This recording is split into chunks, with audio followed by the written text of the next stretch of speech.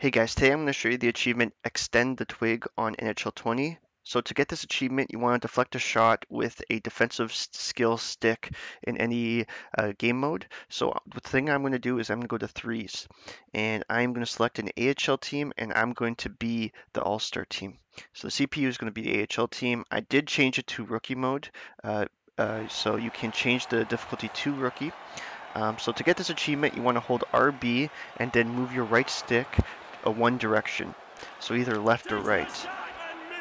And so just like I did there with uh, McDavid, uh, you will be able to. So right, if you look right there, number 40, number 40 uh, is doing that, and uh, that's what you have to do. So I'm going to show you. I'm going to zoom in, to, skip to a part where I got the achievement.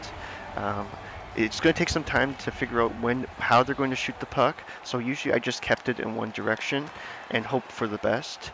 Uh, but yeah, it, it, took me a few tries to get this achievement. Uh, so now here goes. I took a shot. If you looked really closely, uh, number five Giordano did get the his stick on it and deflected the shot away from the puck.